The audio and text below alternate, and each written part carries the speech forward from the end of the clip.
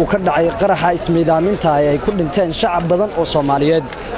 Sida uu sheegay afhayeenka wasaaradda amniga oo la hadlay saxaafadda dadkii soomaaliyeed ee wax ku noqday weerarkii bahalnimada ahaa ee maleeshiyada al-shabaab ee ismiidaaminta ahaa ee ka dhacay ka soo horjeedka hotel wehliye ee magaalada muqdisho.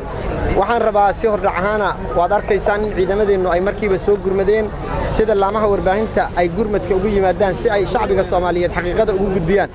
Waxaan idiin xaqiijinayaa tirada dadka soomaaliyeed ee aan hayno ilaa iyo hadda ee geeriyootay in ay yihiin afar iyo toban ruux halka lix kalena ay ahaayeen dhaawacyo.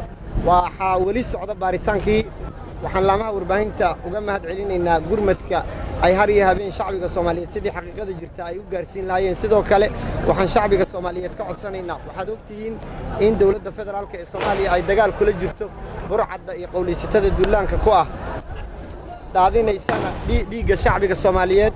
Waxaan rajaynayaa in aad markhaatiye ka tihiin dhallinyarada yaryar ee ku shaqaysanaysay waxa loo yaqaana bajaajka ee maanta ay khasaaruhu ka soo gaareen wixii halkan ka dhacay baaritaan ayaa socda ma hubno dadka soomaaliyeed ee tiradooda inta geeriyootay laakiin wixii baaritaanka ka soo baxa waxa qarxay waxa ismiidaamin ayuu ahaa.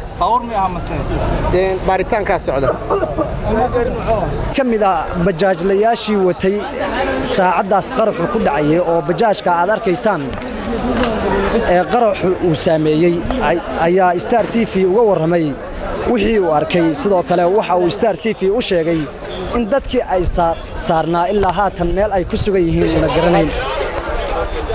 Cabdiqaadir waxau ka mid yahay bajaajlayda magaalada muqdisho. Waxa uu watay bajaajka sida aad u jeeddaan ilaahay baa ka badbaadiyey. Musiibadii meeshan ka dhacday walaal adigoo aad u mahadsan kuna soo dhowow telefishinka star t v. Bal hadda dareenkaagu waa sidee? Markii xaaladdan ay kugu dhacday.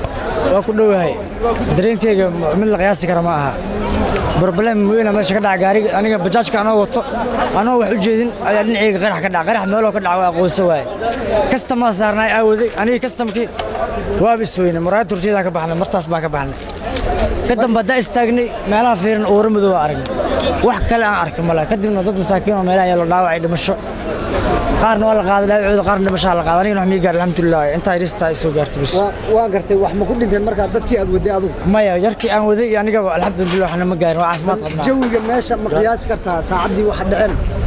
Qof muslina oo iimaan leh ma qiyaasi karta hataa haddii joogi lahayd? Waa waala lahayd dhimashadu waa imisa artay ma qiyaasi karo wax haddaan cayimi kara male aniga.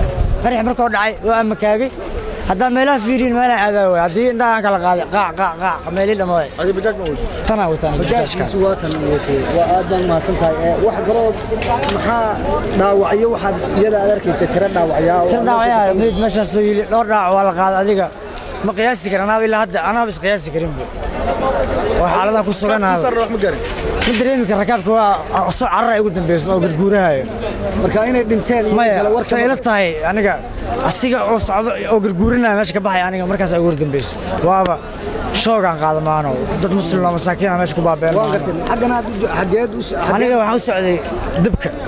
Dabkaad u socotay Haa. oo xagga sayidkaad ka timid. Sayidkaa ka imid haa waa gartay marka ma halkan ma qaraxaa keenay mise meel ka durugsan? Maya maya maya. Eh. halkan waa maashti aan marayo qarax halkaas ka dhacay laakiin markaas aniga maba qiyaasi karin waa waa socday uuro hal mar iyo dhuw wax aadan qaraxyada noocan oo kale ayaa inta badan waxaa ka dambeeya koox al-shabaab oo dagaal kula jirta dowladda federaalka soomaaliya maxamed cabdi cismaan maxamed faradheere star t v magaalada muqdisho